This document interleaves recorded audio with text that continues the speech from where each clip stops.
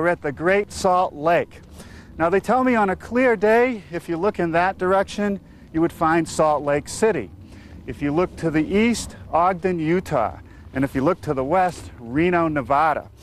Now, this track is part of the Transcontinental Railway that connected the east to the west. It's now run by the Union Pacific. In the old days, they used to go around the lake. It was long and it was dangerous. So they decided to build a cutoff. Most of it is a causeway built up with gravel and stone. But where the water got deep, they built a wooden trestle out of Douglas fir and redwood from the west coast. And we're here today to look at that timber. Boy, look what happens when salt comes in contact with metal. Morning. Morning. Ready to go? Yep.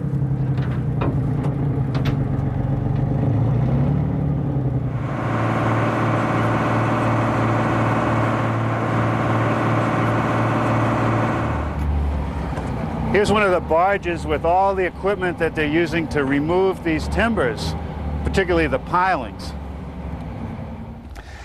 Up here on top of the barge, there are a couple pieces of equipment, a crane with a pile extractor and a loader to move the pilings around. Here's a few that they removed the other day, and look at these things. 18 to maybe 24 inches in diameter, 100 feet long, and they're covered with all kinds of minerals and salt. And down here is where they went into the mud at the lake bottom. Now, these don't look very promising, but we know that once you cut through these timbers, there's beautiful material. They said we could watch today as they pull one of these out.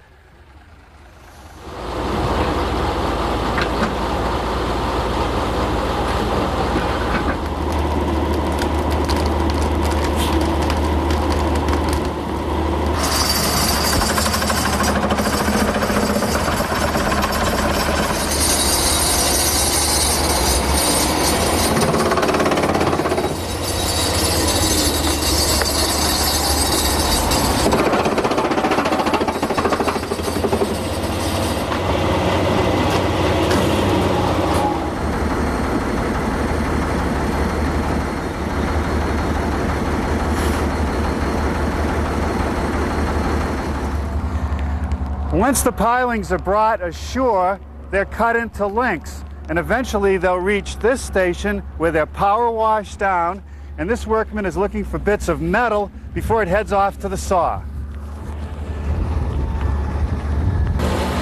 This carbide tip circular saw turns the log into a square timber.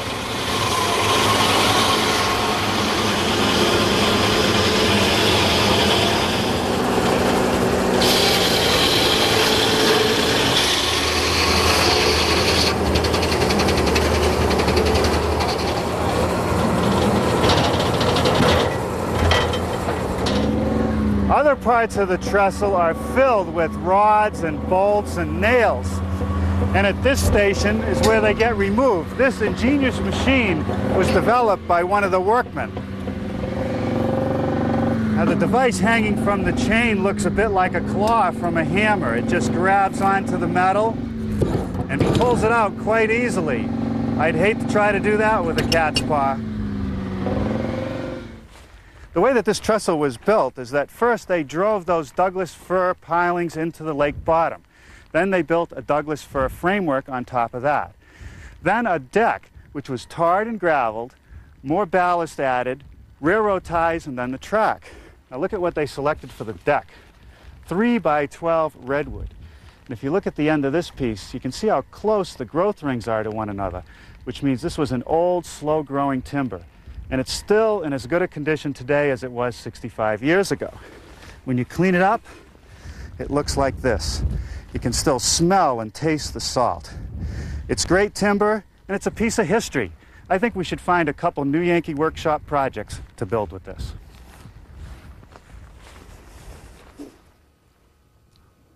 Hmm, I can taste the salt. The good folks out at Salt Lake City sent me several timbers to work with. Now, it took me a while to cut through them, surface plane them, and joint them. And I ended up with a variety of different sizes because I had to cut around the defects, but this is what I have. You can still see where the steel went through the pieces because it stains the redwood. I've got some wide pieces, some 2 by 4s some 2 by 6s and a lot of one by three. From this wood, I ended up with our chaise lounge. It has a full recline position. The backrest comes up into four inclined positions. And it has these redwood wheels that make it easy to move it around. The redwood makes it fairly light, and I also know that the redwood will hold up well outdoors. The first thing I want to do is trim the rails to length. But before we use any power tools, let's talk about shop safety. Be sure to read, understand, and follow all the safety rules that come with your power tools. Knowing how to use your power tools properly will greatly reduce the risk of personal injury. And remember this, there is no more important safety rule than to wear these safety glasses. I've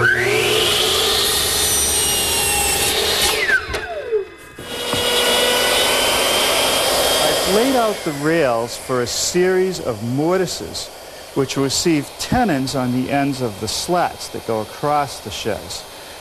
I'm just using my router, which is set up with a guide fence and a half inch straight cutting bit. I simply plunge the router in at the beginning of the layout and remove it at the end. Next, I have to make two mortises in the bottom of the rail, one on each end, to receive the legs. I've reset the fence, and I've made a plunge cut from each face, half the depth. Now I'll just complete it by going the rest of the way. Let's take a look at our prototype. There are a couple cross pieces that connect the rails. They'll add strength to the frame. They sit in mortises. There's one here near the backrest, and there's another one near the handles. To make those mortises, I've made a plywood template with a cutout, and I've clamped it right over the area of the mortise. To mortise it, I'm using the router now set up with a collar and the same half-inch bit. The collar rides around the template, the bit does the work. That hole is for a carriage bolt, which allows the backrest to pivot. I want to drill it now at the drill press rather than later freehand because I want it to be perfectly square and straight.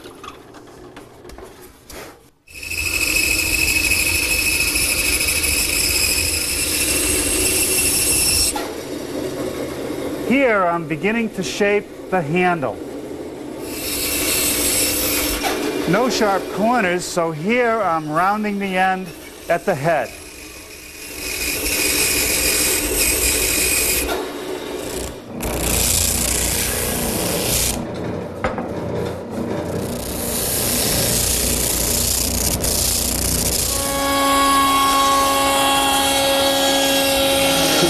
The top edges of each rail, I'm using a portion of a one inch radius router bit in my router table.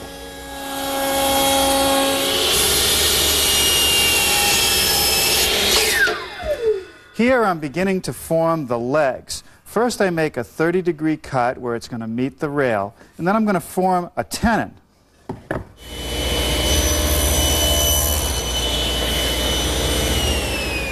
Shoulder cuts are next. I've set the saw so that it's a half inch above the table. I've adjusted the fence for a one and a half inch long tenon, and I'm using my miter gauge set at 30 degrees. I make a cut on one face. To make the shoulder cut on the opposite face, I have to turn the miter gauge so that it's 30 degrees on the other side of zero.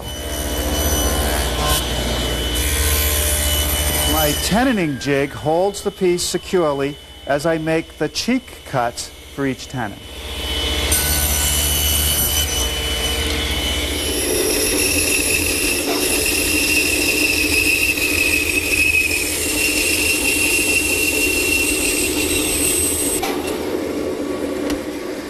That completes the cuts for the tenon on the legs. Each leg is slightly tapered, so I'm using my homemade tapering jig to make the cut. I've cut it a bit strong. I'll smooth this at my jointer.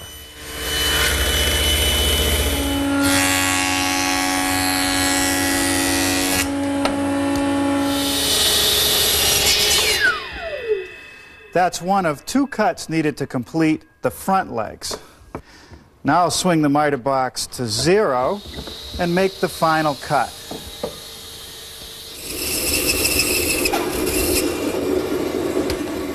That's the cut that completes the bottom of the leg that gets the wheel. Let's look at the prototype again, and you can see that there's a piece that connects the two legs that have the wheels. That piece is let in, and it'll keep the legs from twisting. To make the notch, I'm just going to use my miter gauge and guide the piece through the table saw, nibbling away the material.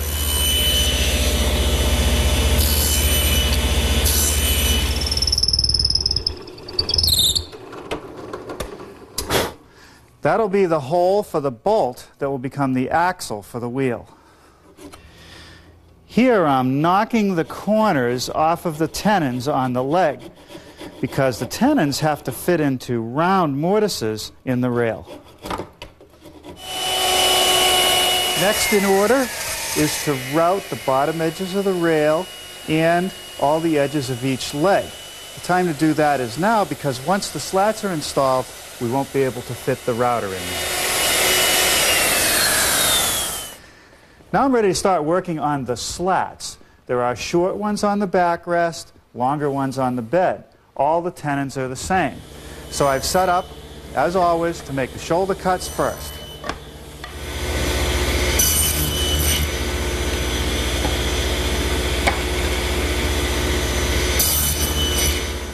I have a similar problem with the tenons on the slats as I did with the legs. The square tenon can't fit into the rounded mortise. So I need to knock the corners off, and I've set up a quick way to do that at the table saw. I have a straight edge clamped down, and it just reveals a tiny bit of the saw blade. The fence is set away the same distance as the shoulder cut, so if I just slide the piece in, it'll knock off the corners. And that gives me a tenon that will easily fit in the mortise. quarter inch radius roundover bit in the router table does a quick job of easing the edges on the slats. The last milling step before we can do some assembly is to make a notch in this cross piece and just trim the corner so it'll fit into the mortise. As usual, I'll just nibble away the material at the table saw.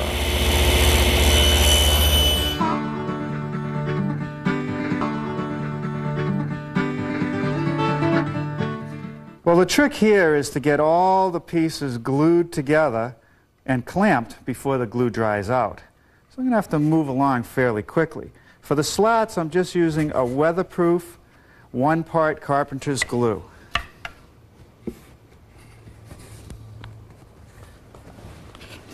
As I'm putting this together, I'm thinking this old redwood timber supported steam trains 50 or 60 years ago. We've transformed it into smaller pieces of wood to build a chaise lounge, which will support sunbathers. If only the wood could speak.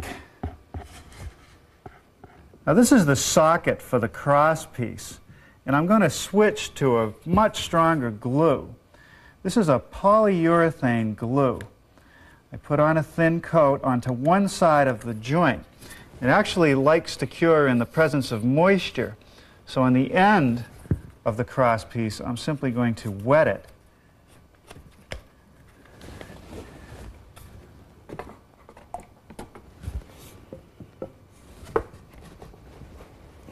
Okay. And the trick here is that these slats are so close together that it takes a little patience to get them engaged, and then you can start to set them. All right, success. Now a couple clamps.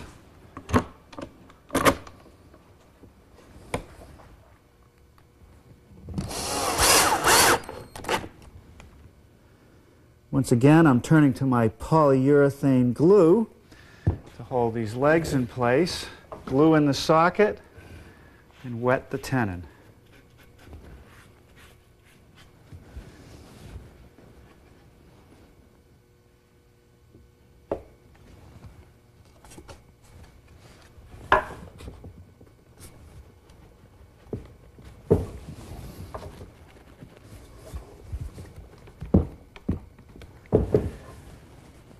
Now we'll clamp this in place because that polyurethane glue actually expands quite a bit as it cures.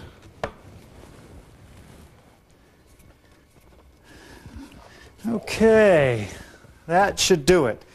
We'll let this set overnight, and tomorrow we'll easily finish this project. I wonder where room service is with that lemonade.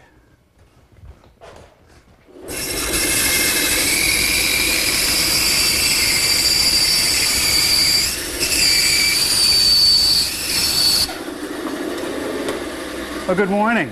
I thought I'd get started today making the wheels for our chaise lounge.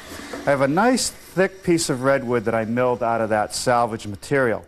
I want the wheel to be wide so that I have a lot of bearing surface on the ground. I'm going to rough it out, leaving the line.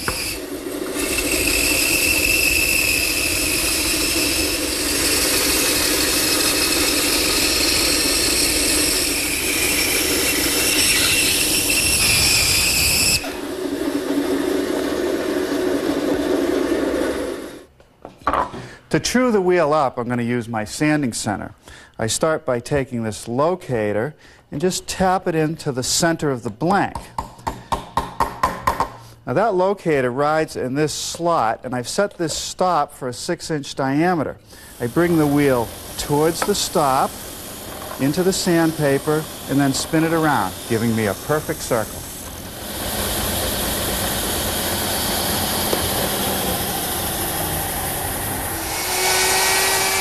A half inch radius roundover bit takes care of the edges.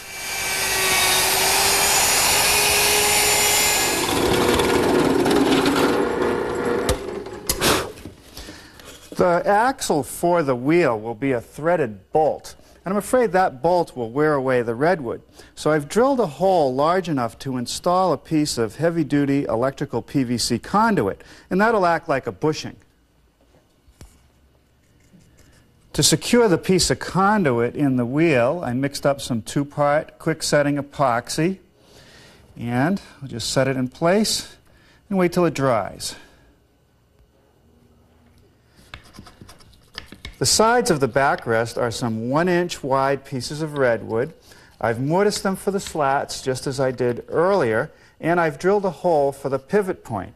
Once again, I'm using some of my weatherproof glue to join the tenons and the mortises.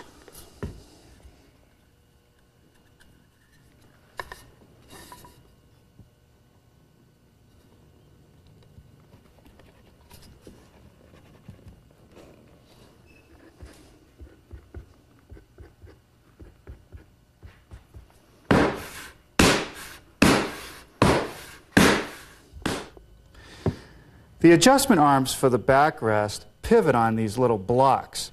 They're located centered on the side pieces, and they're attached with some glue and a few more of those bronze screws.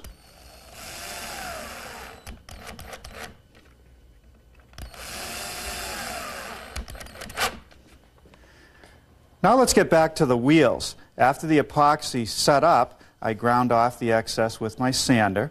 The axle is going to be this half inch carriage bolt. Then I'm going to have a 5 8 inch washer which slips over that first through the wheel. On the other side, a half inch washer and a half inch nut which I'll just bring on far enough to let the wheel spin freely. It's a spacer to keep it away from the leg. That goes right about there.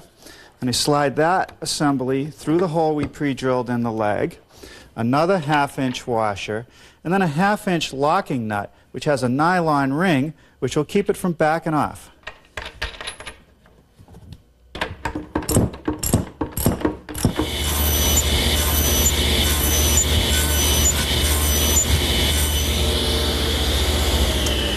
This is one of the three pieces that makes up the backrest support assembly. I've just nibbled away a notch which receives this cross piece. Once it's assembled, it holds up the backrest. Once again, we'll secure these pieces together with some bronze screws.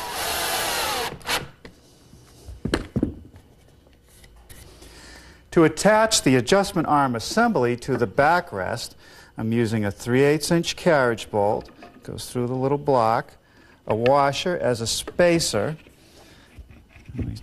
Align the two holes to go through, another washer, and a 3 8 inch locking nut.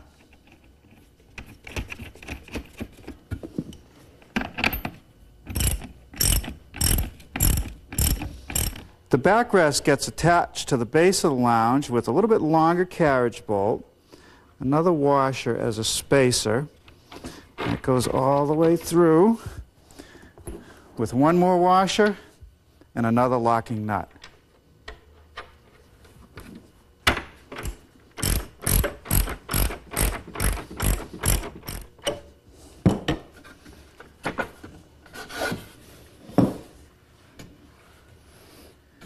The last pieces to make for our chaise lounge are these two pieces which I've screwed together to make the adjustment for the backrest positions. I'll take them apart after I cut them out. Here's a poster board layout of the notches that need to be made. I did this by trial and error on the prototype, and basically there are five positions. One here, which is slightly inclined. This notch out is for the block that's on the back of the backrest, but it also acts as another inclined position. One here, one here, and fully reclined. I'll cut them out, sand them, and then install them.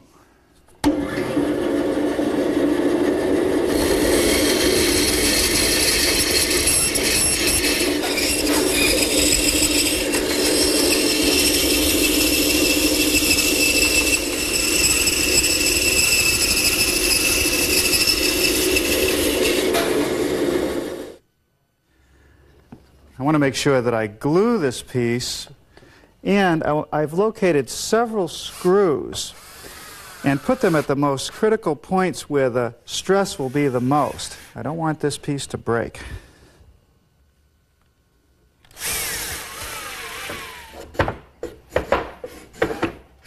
All right, that seems to work fine. A little bit of final sanding, all I got to do is find a cushion.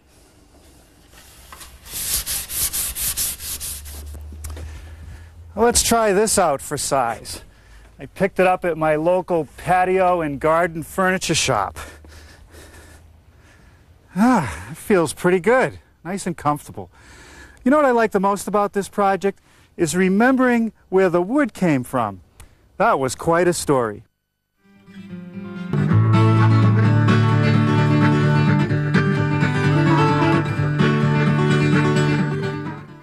Well, last time we removed one of the oldest pieces of furniture here in the workshop, the miter bench. It served us well for 12 years, but it was time for some improvements. So we've come up with a new version. Last time I showed you how to build the base cabinets out of this 3 quarter inch birch plywood.